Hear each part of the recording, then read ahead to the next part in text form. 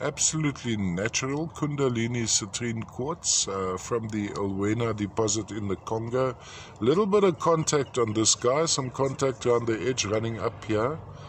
Uh, crystal faces, I think mine and Nick on the main termination.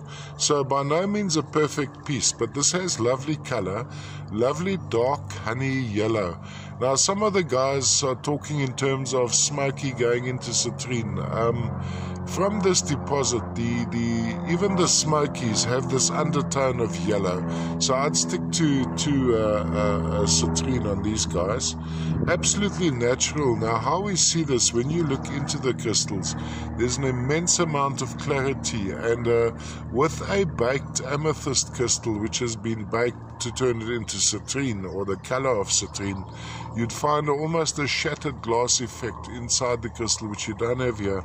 Also quite lovely, and in this in this one, because it's a rather dark honey color, maybe a little bit difficult to see, but these uh, rainbows, which I find in most of these Kundalini citrine quartzes, where you have these little internal fractures, which call cause almost lights from within, little little rainbows as we move it around. You see little internal fractures over there.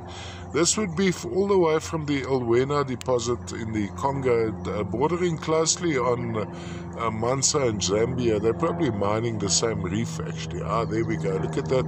Almost a light inside. As we turn the switch, the lights go on. all the way from the uh, Congo. Kundalini Citrine Quartz.